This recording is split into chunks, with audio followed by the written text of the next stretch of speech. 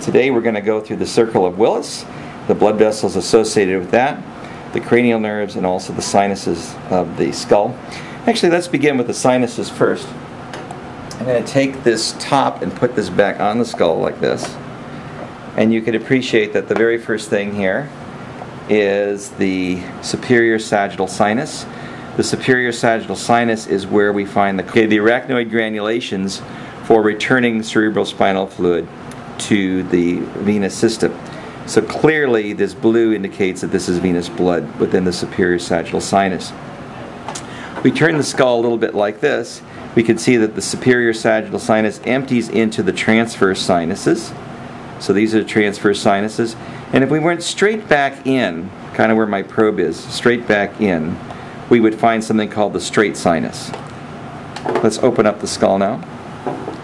So in effect, the straight sinus would be right here, right? Just sort of following my probe.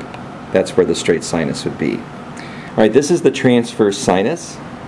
And you could appreciate that the transverse sinus will eventually become the sigmoid sinus. The sigmoid sinus makes kind of a lazy S traveling into the jugular foramen, uh, into essentially the jugular vein that's associated with it. Then right here is the superior petrosal sinus that also is going to drain into this sigmoid sinus. You can appreciate down below here is the occipital sinus. And I think that's pretty much it in terms of the sinuses that we can see in this particular region of the skull. But let's begin with the blood vessels that actually help to form the circle of Willis. And so we'll begin here with these two sort of blood vessels. These are arteries that form kind of an upside down V. And the V reminds us that these are referred to as the vertebral arteries, vertebral arteries. The vertebral arteries join to form the basilar artery. The basilar artery is running right up the clivus. If you remember, that's the slope um, from the sella turcica on down to the big foramen magnum here.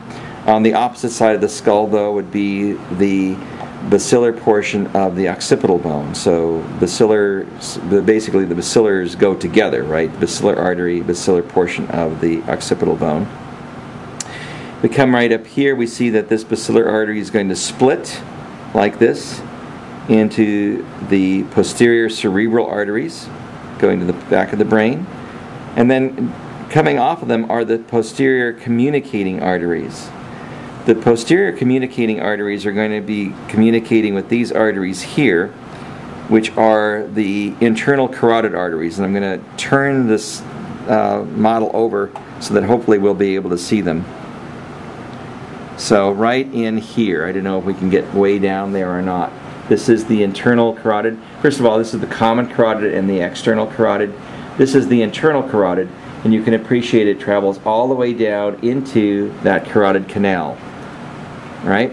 Now, it comes through the carotid canal and out here, which is crossing the foramen lacerum, not going through it, but going on top of it, and it will essentially form what looks like a bulge right here, which is, again, the internal carotid. For all intents and purposes, that internal carotid then becomes, in effect, the um, middle cerebral artery. So that's the middle cerebral artery here. And then branching off of this is the anterior cerebral artery. Connecting the two anterior cerebral arteries is the anterior communicating artery, this very small artery here. In reality, this is like a millimeter or two in size, so this is kind of exaggerated at this point. Okay, so the actual circle of Willis then includes the posterior cerebral arteries, the posterior communicating arteries, just a little bit of the internal carotid, a little bit of this middle cerebral artery, and of course a bit of the anterior cerebral artery as well as the anterior communicating artery. The whole structure again, the circle of Willis. All right, let's take a look at some of the cranial nerves. Um, I actually, for some reason, do not have cranial nerve number one on this model. That would be the olfactory nerve. I think that's probably on the brain model that comes with this. The olfactory nerve, remember, rests in the cribriform plates that are separated by the crista galli, which is this structure right here. So this would be cranial nerve number one. Cranial nerve number two goes through the optic canal, and that, of course, is the optic nerve. Cranial nerve number three is the oculomotor nerve, and I think that this one is supposed to be cranial nerve number three right here, oculomotor. Cranial nerve number four is this little one. This is the trochlear nerve. Cranial nerve number five is the great big massive trigeminal nerve. Remember the trigeminal nerve has three branches. The first branch is the branch that travels through this structure right here, which is the uh, superior orbital fissure. And then the next branch travels through the foramen rotundum, that would be the maxillary branch. And then the third branch travels through the foramen ovale, that would be the mandibular branch. Cranial nerve number six is this little guy here. This is the abducens nerve. Okay, good. The abducens nerve, remember, regulates lateral movement of the eye. Now, cranial nerve number um, seven is the facial nerve. The facial nerve is traveling through the um, internal acoustic meatus and it will travel out through the uh, see if we can get that in there. Yeah, this is the mastoid process, the styloid process, and so the foramen associated with this is, of course, the stylomastoid foramen. So, exiting the stylomastoid foramen is the facial nerve, and you can appreciate some of the branches of the facial nerve here. Okay?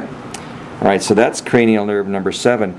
Cranial nerve number eight is this one here. Cranial nerve 8 is uh, sometimes a double branch, sometimes the facial nerve is double, and more often the facial nerve is the double branch. But I have seen it occasionally where nerve number 8 is the face is the uh, is the double branch. This is called the vestibular cochlear nerve, and it is traveling into the internal acoustic meatus, and that's where it ends. Basically, communicates with the cochlea in the inner ear. Okay, cranial nerve number nine is the glossopharyngeal nerve.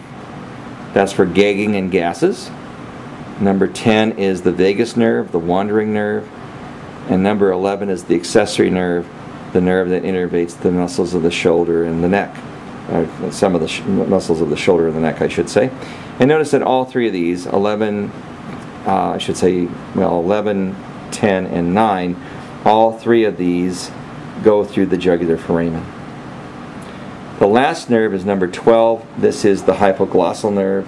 It thankfully goes through the hypoglossal canal. This is going to be innervating the muscles of the tongue. Alright, so that's pretty much the features that we see on this particular model. And thank you very much.